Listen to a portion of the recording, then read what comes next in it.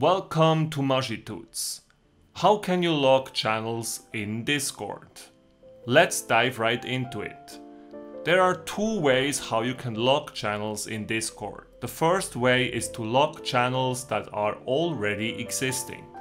Let's say here we have that pest control channel and we would like to lock that. So we would like to make sure that this channel is only available for certain people. So only certain people will have access and will be able to see the contents in that channel.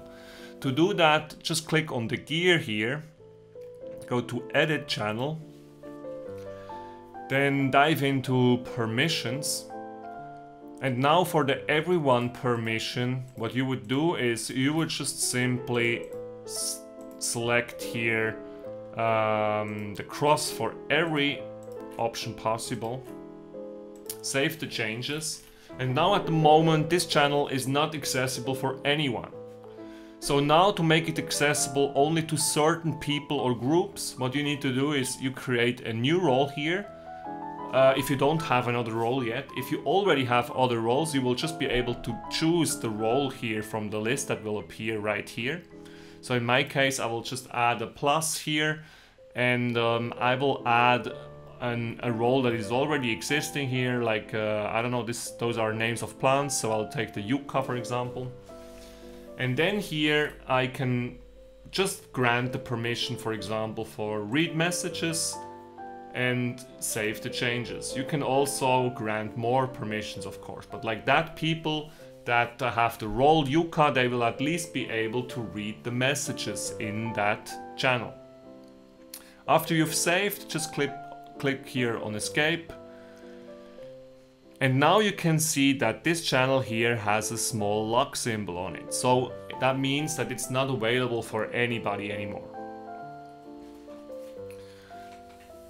And um, the second way now is to actually lock the channel when you're actually creating the channel.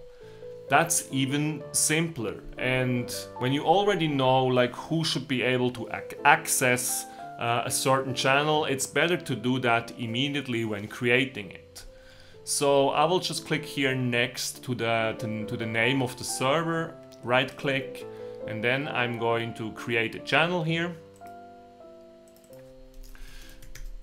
I will just name that locked channel and then here you have the option private channel. So to lock that channel all you need to do is click here on private channel and now here you will get that list that we've already seen from before, from before with those roles that you have set up on the server. And you can now here just simply enable certain uh, roles and give them access to your new channel. So for example, this time here I will choose uh, Peace Lily. So everybody who's got the role Peace Lily will be able to access that channel, but nobody else. So I've just selected that, create channel, and now our newly created channel will only be accessible for people who have the role Peace Lily. Where is that channel now? Here it's on top, locked channel. And you can see that this locked channel here also has that small little lock symbol. So there you have it, everything you need to know about locking channels in Discord. I hope you did indeed enjoy this video. If you did, please subscribe to my channel and don't forget to hit the notification bell. Have a great day and see you next time. Bye guys.